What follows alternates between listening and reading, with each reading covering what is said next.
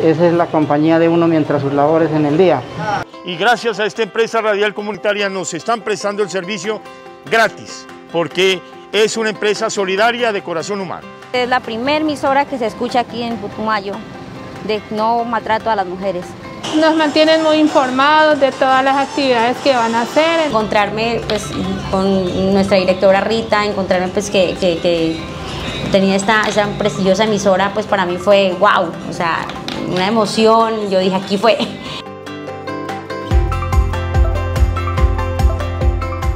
Esta emisora le ha prestado ayuda a muchas personas de nuestra capital, eh, haciéndose precisamente honor a ese eslogan, la radio más social, la radio más humana. Pues por parte del Ministerio de las TIC estamos muy contentos porque nos han mostrado esa importancia y nos han dado ese primer lugar prácticamente a las emisoras comunitarias porque nos tienen en cuenta, hoy por hoy están las reuniones virtuales, las capacitaciones que nos dan a los medios de comunicación, a sus directores, al equipo, al equipo de las emisoras comunitarias de todo el país por supuesto también ese reconocimiento tan bonito que tuvo este gobierno, el gobierno de Duque, en cabeza de la doctora Karen Aburidén,